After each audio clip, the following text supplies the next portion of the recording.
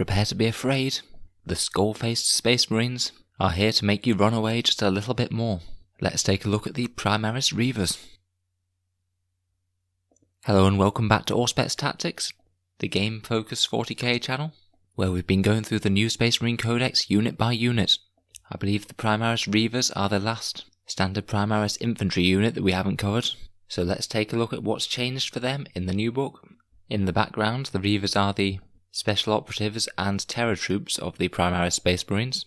They're often deployed behind enemy lines, either by grav-chute or infiltrating with their grapnel launchers and they're often used to sow terror and disorder among an undisciplined enemy. Presumably, people are going to be a lot more terrified of a space marine if they're wearing a skull mask and trying to kill you, other than if they're just wearing normal helmets and trying to kill you. But let's have a look at how these guys do on the battlefield. So, Reivers are an elite's choice for Codex Space Marines. They're Phobos armoured, so they have some synergies with the Phobos Librarian's Obscuration discipline, and the Phobos characters from Shadowspear. You buy them as a squad of five models, including one sergeant, and at base with no fancy equipment, they are 16 points per model. So are the cheapest Primaris variant out there at the moment, which is interesting seeing as they're an elite's Primaris choice. As standard, they're equipped with a bolt carbine, a heavy bolt pistol, frag grenades, crack grenades, and shot grenades. The bolt carbine is essentially an assault 2 bolter, so two 24 inch range shots, strength 4, AP nothing, damage 1, and the heavy bolt pistol is strength 4, AP minus 1, damage 1. Shot grenades are an interesting little option. They're a 6 inch grenade weapon, they fire D3 shots, and if the opponent is hit by the shot grenade, they're stunned till the end of your turn. They won't be able to fire Overwatch against any unit charging against them, and they suffer minus 1 to hit in close combat. Bear in mind that you can only use this on infantry, however. So no stunning a repulsor executioner with a shot grenade and then getting to charge it with no overwatch, for example. If you prefer to make the squad a little bit more geared up for close combat, you can trade their bolt carbine for a combat knife, and this doesn't cost any additional points, but it means that each of the squad will essentially just have one additional attack, at the loss of those two shots at 24 inch range. Now I could see the point of this if you're playing something melee focused, say Blood Angels for example, or perhaps White Scars, but I think in most circumstances you're going to want those extra two bolt shots at 24 inch range rather than one additional strength 4 attacking close combat. It is interesting, however, that this gives you one of the options for a slightly more dedicated Primaris close combat unit, which we don't really have very many of at the moment. Now, the entire squad can take a grav-chute or a grapnel launcher, or they can take both. Grav-chutes are essentially allowing them to set up from reserve, so it's essentially paying 2 points per model to allow the squad to come in from reserve on turn 2 or turn 3, and they have to be outside 9 inches of enemy models. The other option, the grapnel launcher, is interesting. If you give the squad grapnel launchers, again for 2 points per model, you can put them in reserve, but they can only come in within 6 inches of the edge of the board, and again outside 9 inches of enemy models. The grapnel launchers do give them an additional rule, however, which means that when they move, they can ignore vertical distance, which can give them some crazy movement shenanigans, say being on top of a building and then moving down a very, very long distance to get very near to an enemy unit to charge them in the assault phase. The grapnel launcher only works in the movement phase, just to clarify, in terms of ignoring vertical distance. Now, I think both of these are quite interesting options. If you don't normally have any way to put Space Marines in reserve in your army. Obviously, if you're playing Raven Guard, then for one command point you could do a reserve move with something like Aggressors or another hilariously destructive Primaris infantry unit. But if you don't have the option, then this gives you a way to deep strike some Primaris bodies on an objective. I think the two options are fairly well balanced. The only thing is that the grapnel launches are very dependent on terrain. If you don't have any big ruins for them to be pinging about all over, then you're just going to get more utility out of the grav-chutes and being able to choose where you drop in. Out of the two, I'd probably take the grav-chutes for this reason, even though the vertical move for the grapnel launchers is really fun and I really like the rule. Now the Reivers have a few additional special rules. They have Angels of Death, which will give them an additional AP minus 1 to their assault bolt weapons when they're in the tactical doctrine, and buff them up in the assault doctrine too. Shock Assault, which is quite important for these guys. because they're going to be operating quite near the enemy lines, so having three attacks on the charge is very nice. And Bolted Discipline doesn't really do anything for them because they don't have rapid fire weapons. If you bring 10 of these, then they can combat squad down into two 5 man squads. Though personally, I never bother bringing 10 of these when you can just have two different squads with more sergeants in. Elite slots are fairly easy to come by normally. And finally, they have their own special rule called Terror Troops. For each Reiver squad within 3 inches of an enemy unit, you subtract 1 from the leadership, up to a maximum of minus 3. Now, this is really quite an interesting rule because most rules like this don't let you stack it with multiple squads applying the same effect to each squad. So, in theory, you could envisage three units of Reivers absolutely scaring the crap out of an elite enemy unit that's taken some casualties and causing them to lose a load more models in the leadership phase. In reality, however, I think that this will be quite hard to pull off the 3 inch range is really quite limiting and essentially means that you're not ever going to get it on the turn that you drop in unless you successfully make that 9 inch charge into close combat. Also, leadership shenanigans just don't really work against some armies, say, for example, armies that are made of all vehicles, or armies like Orks which tend to have leadership 30 because of big mobs being next to each other. Probably the best time that you could see this having effect would be if you managed to get a Reiver squad or two charge into a whole load of guard infantry squads or something similar. Then, if you inflicted a few casualties on each squad, then you'll often get another model or two running. But even then, I'd say that's only an extra nice thing to have, not exactly something that you can base your entire game strategy around. As you might just have been better off positioning your Reivers better, say keeping them on an objective or out of line of sight of a lot of the enemy's guns, rather than charging headlong into a whole bunch of enemy units just to try and make them all leadership minus one.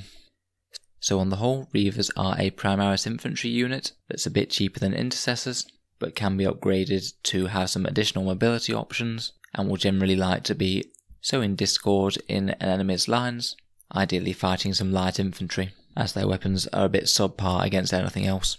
So let's have a look at any ways that we can use to buff these guys up and get the most out of them on the tabletop. Firstly, Reivers benefit from most of the Space Marine chapter benefits in one way or another. Ultramarines fall back and shoot could be useful for the bolt carbines. White Scars, in particular, seem like a good choice for Reivers. They can get that stratagem that allows them to roll 3d6 and pick the two highest for charging out of Deep Strike. And once they've got into enemy lines, they can fall back and then charge another unit to give them a lot of flexibility. Iron Hands is always good for two wound models, as the 6 up Feel No Pain dramatically increases their survivability particularly against damage 2 weapons, which are very nasty against these guys. Raven Guards will synergize well as well, as these guys will often want to be hugging cover and hopefully activating that minus 1 to hit bonus for being greater than 12 inches away from enemy firing models. They also synergize well with the idea that Raven Guard want to be infiltrating a lot of units up the board and getting in the opponent's face turns 1 and 2. Salamanders don't have as amazing synergies with these, based on their chapter trait alone, but Imperial Fists and Crimson Fists will be good on the Bolt Carbine Reivers due to getting some extra bolt shots on sixes and either having a benefit against hordes or ignoring cover. Black Templars, whose trait is often not particularly useful on Space Marine units, actually applies quite well to this squad because they'll often be dropping in with grav-chutes and then shooting and then trying to make a charge. And being able to fully re-roll that charge is quite a powerful thing for a 9 inch charge so it definitely makes them a little bit more reliable in that regard. In terms of character support, I wouldn't typically tend to try and use characters to buff their damage output, as Reiver's damage output point for point is quite poor compared with heavier hitting units in the Space Marine army, such as say aggressors or hellblasters or any of the big tanks. So I'd advise saving your buffing characters for these guys. As I mentioned before, however, the Phobos Librarian can use his powers on these, and you could have some fun with things like Temporal Corridor to zoom a unit of Reivers all the way into the enemy deployment zone, or something like Shrouding to make them hard to target unless you're the closest unit to those Reivers. In terms of stratagems, Auspex Scan is generally worth considering.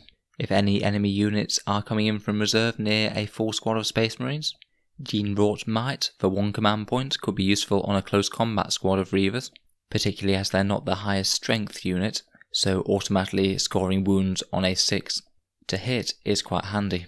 Finally, transhuman physiology isn't a bad shout for Reivers either. If you absolutely need them to hold an objective, then it's worth considering.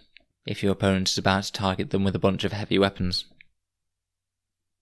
So how do Reivers stack up against the other options that we have in the Space Marine army? I'm going to be honest, personally I don't think that Reivers are worth including in a competitive Space Marine army list when compared with some of our options such as infiltrators, incursors, intercessors, and scouts. And the reason for this is almost purely because all of the other ones fill up troop slots so can be used to get command points at the same time as doing their job. I think if Reivers were troops, then they would genuinely see some use compared with the other units because they do have their advantages. But for me personally, the opportunity cost of not filling up those battalions and getting those command points is just too high for a unit that does something very similar to the troops units. That being said, Reivers do have their own battlefield role that is distinct from the troops units.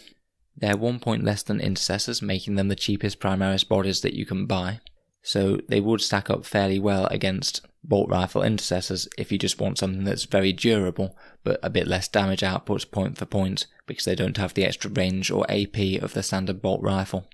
Also, as we mentioned, they're the only Primaris standard infantry type unit that has the option to come in from reserve, provided you pay the extra 2 points per model for that privilege.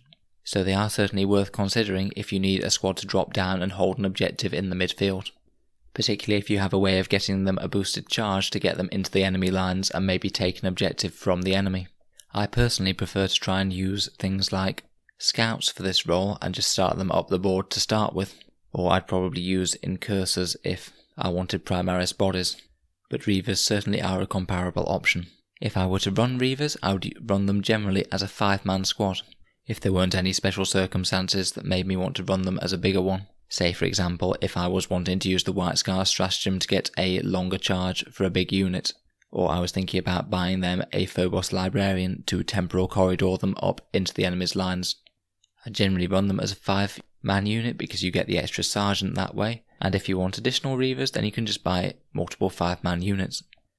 If I was using them in, say, a tournament and I didn't know what I'd be facing, I would pay the additional 2 points to equip them with grav-chutes to give them full flexibility to come down on an objective or to shore up a part of the battlefield with no restrictions as to having to set up near the board edge. I'd personally choose to equip them with bolt carbines, so they'd drop down, hopefully chew up some light infantry with those bolt carbines, and then try and charge in and see if they can get lucky by rolling a 9 or more. From there, they'd try and tie up important units, bully light infantry, or hold objectives and just try and make them generally annoying so the opponent can't just ignore them and focus on more dangerous hard hitting units back in my backfield line. All in all, I think that Reivers aren't a particularly competitive option for Codex Space Marines, not necessarily because they're any worse than the other troops that you'd compare them to, but just because they have an elite slot rather than a troop slot, and therefore you can't use them to fill up those all important battalions to get you a bunch of command points which you need for all the fun stratagems that you're using in Codex Space Marines these days. That being said, they are definitely a fun unit to use, particularly when you're using them with the grapnel hooks. I'd see absolutely nothing wrong with experimenting with them in a more casual setting, and I'm sure in some games they'll do absolute wonders. I just wouldn't personally recommend bringing them to a tournament in all honesty. If you disagree with anything that I've said or feel like I've underestimated these Reivers, then please let me know down in the comments. I'm fairly sure that a lot of you will have had some good success with them, and I look forward to hearing about it if you have. And as usual, if I've got any rules wrong, please let me know. Thanks very much for listening to another Auspex Tactics video. Feel free to subscribe if you'd like to hear more Space Marine content, or over the next couple of weeks in particular, a lot of Imperial Knight content too. So hopefully I'll see you guys in the next video.